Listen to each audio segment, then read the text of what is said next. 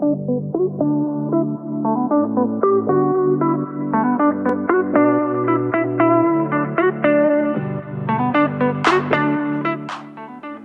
this is April Murdaugh, owner, founder, investment advisor at Woman to Woman Financial, where we help women, women business owners, and their families create and grow generational wealth.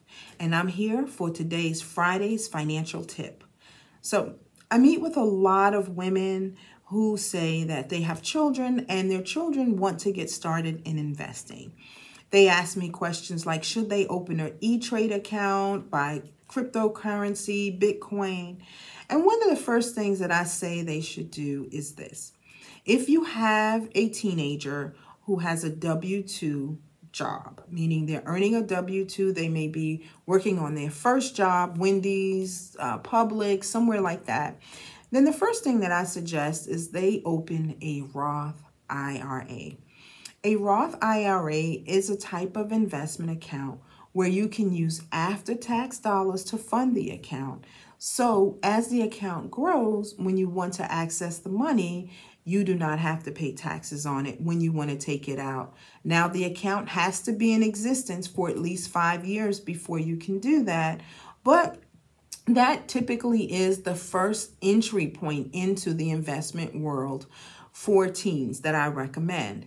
And the reason why is that they get to participate in purchasing mutual funds. And a mutual fund is a fund that has a group of stocks of major companies, uh, could be some of the Amazons and the Microsofts and the Twitters, and but they are a fund or basically a house that may house different company stocks.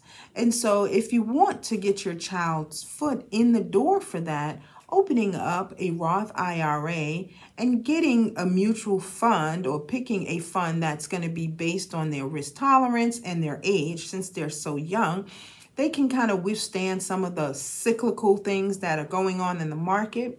But this account is a long term account, so we definitely want to make sure that it's a long term strategy. In order to begin accessing money out of the account, it has to be in existence for five years.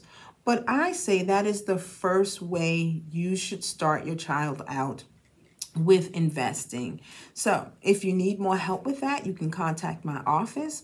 But today's Friday's financial tip is if for your children, if you want them to want them to get started in investing, have them open up a Roth IRA. It's a very simple account to open. They must be a W 2 employee, and that will get them on the path to long term investing for their future. All right, this is April Murdaugh signing off again for, with Friday's financial tip. Have a wonderful day.